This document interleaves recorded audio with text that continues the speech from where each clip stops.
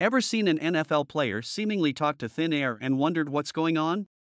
Top tier football helmets can be equipped with speakers and microphones, allowing players to communicate with coaches between plays. But wait, not everyone gets this perk. Only one player on offense and defense gets this techie advantage. Ever noticed a green dot sticker on some helmets? That's the clue.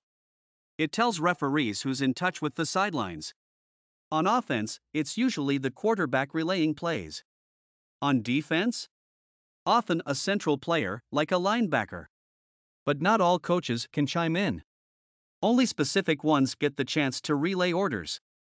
Football's more tech savvy than you thought, right? Drop a like if you learned something new.